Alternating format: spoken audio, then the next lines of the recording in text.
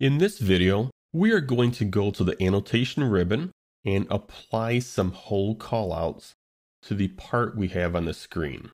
Now, if you would like to work along with me, you can open up this file from your working files folder, and the name of this drawing is drilled block. Now, just to make it a bit easier to visualize what's going on with this drawing, let's go back to the part in the part environment. Here we have a rectangular piece of stock, and we have four features cut into it. Now, if I roll the model, you will see it appears that we have a counterbore and a through hole, a tapped or threaded feature, a slotted feature which does not extend all the way through the part, and then another counterbore and through hole. However, if you look at the feature manager tree, you will see the first feature is a counterbore for an M20 socket head cap screw. And this was created with the Hole Wizard command. The next feature is an M30 by 2 tapped hole, and this was also created with the Hole Wizard command. And the same with the third feature, a 25 millimeter dowel slot, and this does not extend all the way through.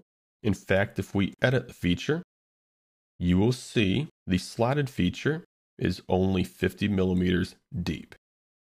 And the last feature is not created with the hole wizard. I purposely created this last counterbore in through hole with two cut extrude features.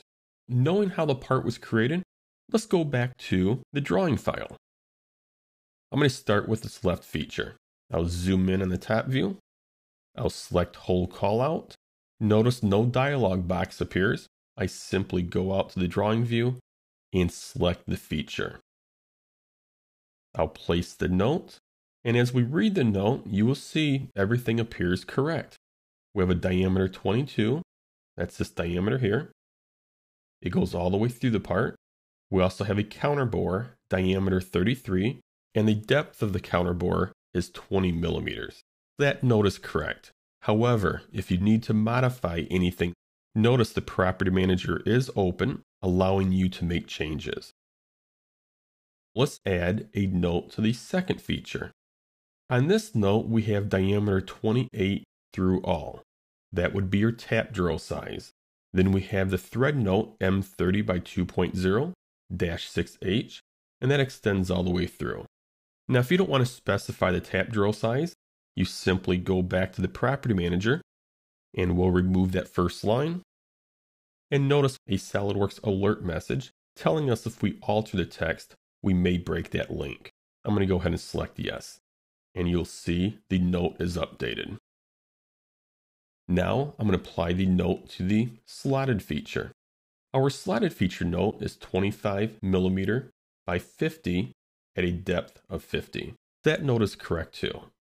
Now on this last feature, it would be interesting to see if it gives us the information for both features since it was created as two separate cut extrude features. I'll select the outside circle and you'll see it does give us the correct information. Diameter 20 is a through hole. Then we have a counterbore diameter 40 with a depth of 10. I want to left justify this. I'm going to go back to my property manager and select left justified. Now let's say, for example, this did not display correctly. How would you input that? So to simulate that, I'm going to go back to my property manager and I am going to remove that entire note. Now let's recreate the note. I am going to select the diameter symbol. The diameter was 20 for the through hole.